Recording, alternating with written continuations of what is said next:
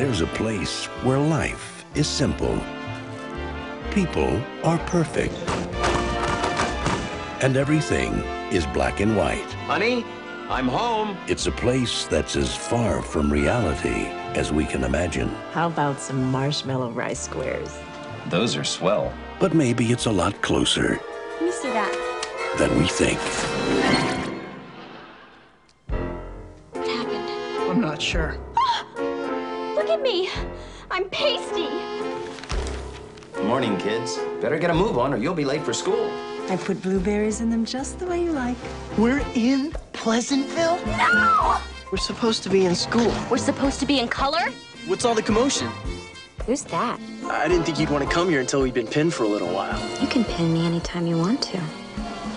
Or maybe I should just pin you. She's a fine young woman. She would never do anything for us to be concerned about.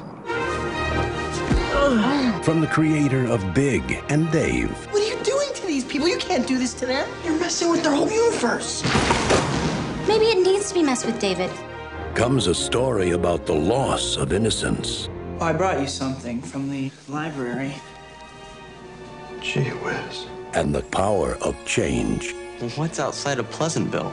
There's some places where the road keeps going.